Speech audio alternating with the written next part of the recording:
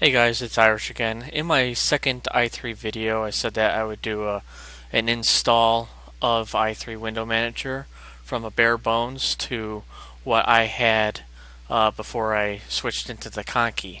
So right now I decided to go onto Linux Mint uh, to do this because you know it's a, Ubuntu based and I figured you know a lot of uh, distros out there are based off of Ubuntu and everything else like that.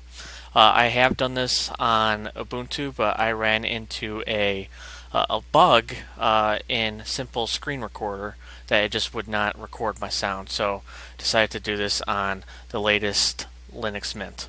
So if we open up our terminal, and you just need to type in sudo apt get install i3 which does include the dmenu. So uh, if you're doing this through an Ubuntu, you don't need to do uh, dmenu.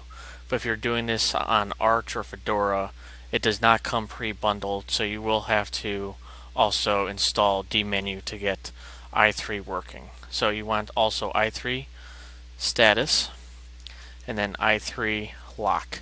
And the i3lock is for uh, uh, in part 3 of my video where I'll show you how to do a uh, a shortcut on you just do like a, a mod F2 and then everything will you'll be able to shut down uh, your distro from a quick key combination instead of having to type in sudo power off or sudo reboot. So this was just uh, much easier.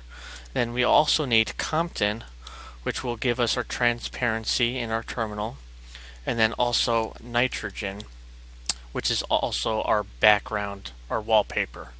So if we just do that, type in our password really quick, and click yes. This should take a very a few seconds.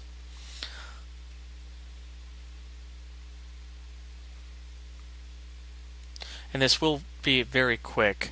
Uh, while this is doing it, just so in the next uh, episode that I can uh, show you how um, how nitrogen works.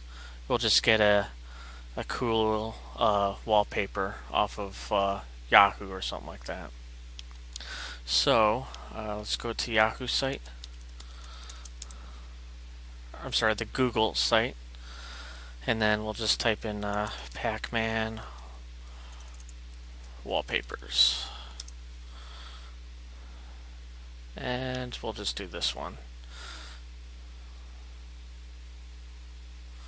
So if we just save this image as and then go into pictures. Okay.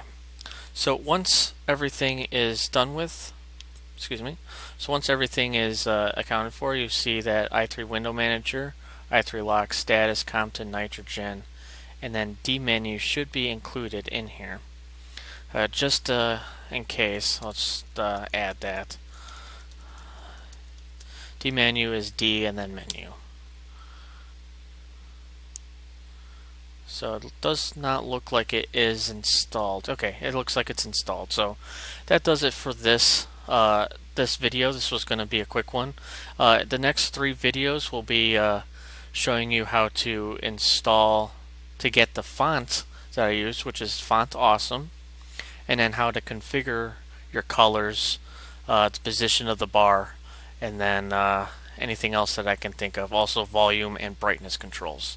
So that does it for this episode, uh, for this video, excuse me, and I will see you guys next time.